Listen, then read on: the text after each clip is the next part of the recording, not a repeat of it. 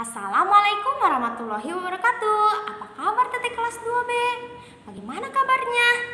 Nah, bertemu lagi bersama Bu Listi Nah, Ibu hari ini akan mengajarkan kalian tentang kalimat penolakan dan kalimat persetujuan atau menyetujui Nah, kalimat penolakan itu apa sih? Kalimat penolakan adalah kalimat untuk menolak ajakan atau suruhan seseorang dan kalimat penolakan itu harus menggunakan kata-kata yang sopan. Nah, kata-kata yang sopan depannya itu harus memakai kata maaf. Dan untuk kalimat menyetujui atau setuju adalah kalimat yang dikeluarkan saat kalian bisa melakukan apa yang uh, orang ajak atau orang suruh pada kalian. Nah, berikut ini adalah soal-soal yang ada di buku paket. Ayo kita isi bersama agar kalian lebih tahu kalimat penolakan dan kalimat menyetujui. Oke, ayo kita mulai.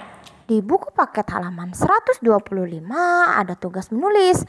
Tulislah kalimat penolakan untuk ajakan berikut dengan alasanmu sendiri. Ayo kita cari kalimat yang sesuai. Nomor satu, teman mengajakmu bermain di lapangan sore nanti. Kalimat penolakannya adalah Maaf ya, aku tidak bisa ikut bermain sore nanti. Aku mau pergi ke rumah kakekku.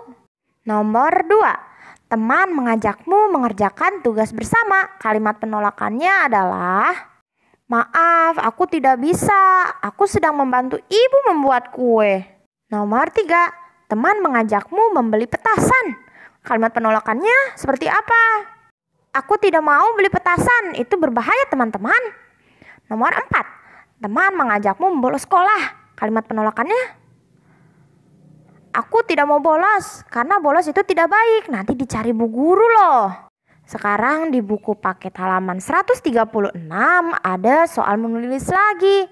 Kalau tadi hanya kalimat penolakan, sekarang ada kalimat menyetujuinya. Ayo kita mencari kalimat yang tepat ya. Nomor satu, ayo kita bermain layang-layang. Kalimat penolakannya, maaf aku tidak bisa, aku sedang disuruh ibuku.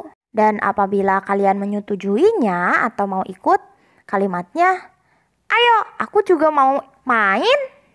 Nomor dua, mari kita belajar kelompok. Nah, kalimat penolakannya, maaf, aku tidak bisa ikut kerja kelompok. Dan kalau kalian setuju kalimatnya, boleh baik atau oke. Okay. Nomor tiga, ayo kita memanjat pohon untuk menebangi dahannya. Kalau kalimat penolakannya, jangan, itu berbahaya, aku takut jatuh. Dan kalau kalian setuju kalimatnya, ayo, tapi hati-hati ya manjatnya. Nomor 4. Ayo kita bermain bersama.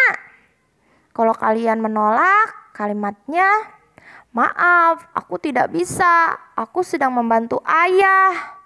Dan kalau kalian setuju untuk bermain, kalimatnya, ayo, aku juga mau ikut bermain. Nomor 5. Mari ikut ke rumahku. Kalau kalian menolak atau tidak bisa, kalimatnya, Maaf, aku tidak bisa. Aku harus langsung pulang ke rumah.